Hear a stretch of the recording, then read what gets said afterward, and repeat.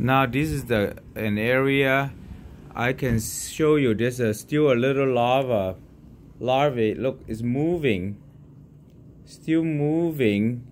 You could tell it's still moving eating the wool. You see that? So it hatch over here. It crawl over there. You could tell it's moving.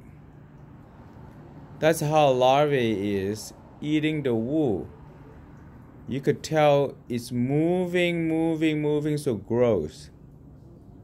You see I show you exactly what the moth problem is. You can tell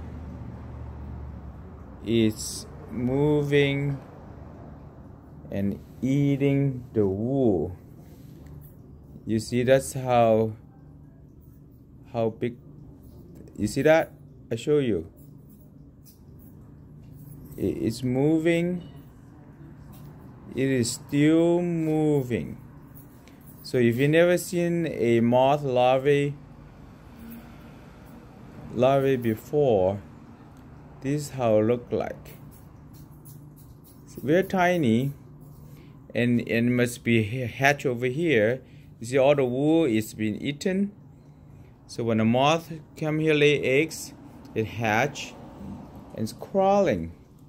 And this one's still alive. This one's still alive. I cannot believe it. I see this. You see? That's how tiny it is. And it's moving and it's alive. Cannot believe it.